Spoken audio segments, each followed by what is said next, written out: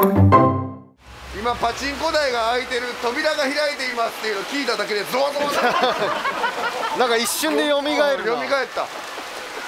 うまい棒のパチンコ台あるで。羽物なんや。羽物好きやったわ。めっちゃおもろそう。うわおもろそうやな。うわ山内さん筋肉マン。いいね。筋肉マン売ってたよ前。このシリーズの前ちゃうかな筋肉マンいきますか。俺ここにしようかな。ラッキーナンバー11の1で1で挟んでる。ここ。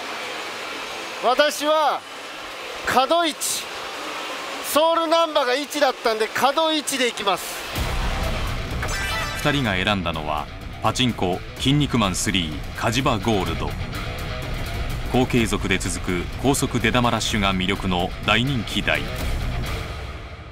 さあ、えー、打っていきたいんですが、はい。えー、我々も久しぶりのパチンコですからわからないことちょっとあると思うのでパチンコライターのスケロクさんに来ていただいております。よろしくお願いします。はいパチンコライターのスケロクです。本日はよろしくお願いします。わからないことはパチンコライタースケロクさんにご教授いただくとりあえず何を見れれば熱いというか。今回ですね、はい、やっぱり主人公の筋肉マンのリーチに行けば期待できる筋肉マンに関するリーチは熱い。はい。あとは強楽といえばやっぱゼブラ柄ですね。あのその前にあの一旦冷静になりましょうね。まだ冷静やろみんなよっしゃスタート。スタート。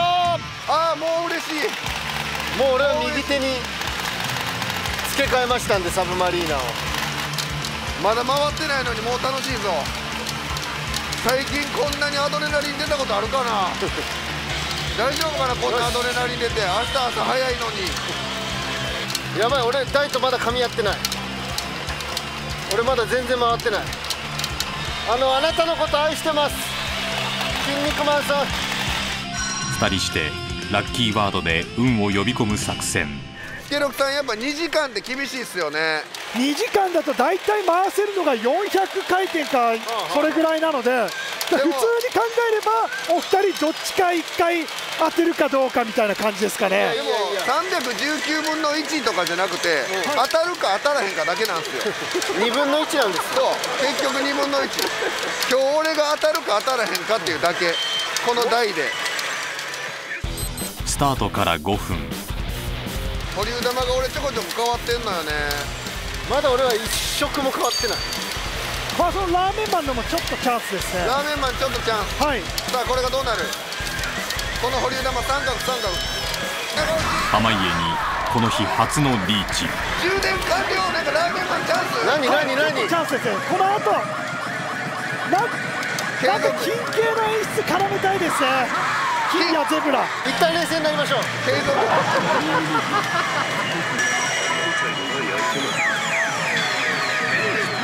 これが100になれば、えー、そのガチャを1回回せます。なるほど。で出てくるキャラによって期待度を示唆してますね。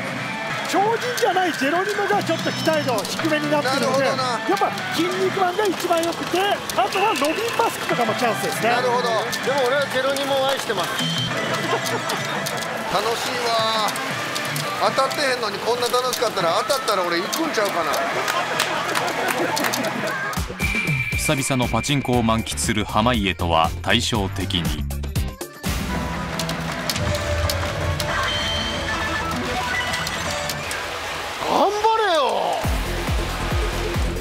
未だ噛み合わない山内。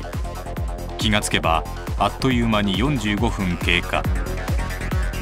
ここで濱家独自のパチンコ流儀で停滞ムード払拭を図る。パチンコには姿勢も大事パチンコ打ってるんじゃなくて打たせてもらってるんだという感覚。背後から日本刀で真っ二つに切られても俺とパチンコ台が正対称に2つに分かれるようにきっちりとした姿勢で俺は今ハンドルを握っているんじゃなくハンドルと握手をしている。すると。おなんか来た。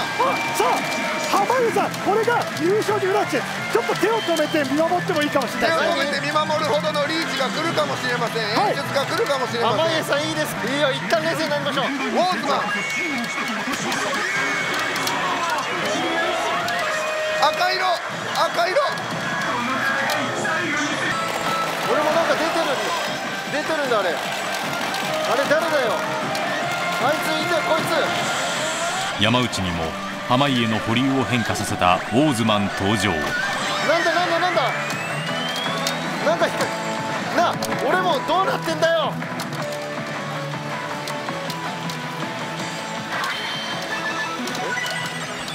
俺何にもなし今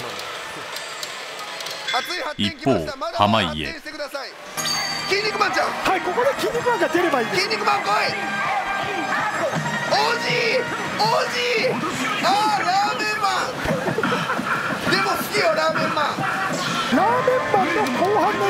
か筋肉マンが出てくるか。なるほど。で筋肉マンが出てきた方がもちろん大チャンスラーですメンマン行け。よくかわしたラーメンマン行け。俺も明日朝早いね行けラーメンマ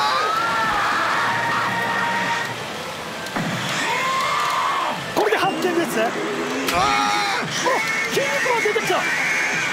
いや筋肉マン。はい。これ筋肉マンなんでこれは期待していいですお待たせいたしました。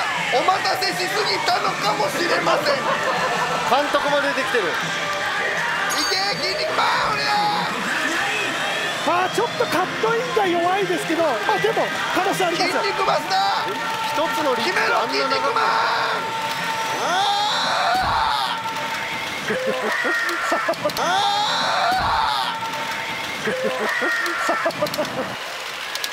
あ外したんちゃう？外したっぽいな。うわ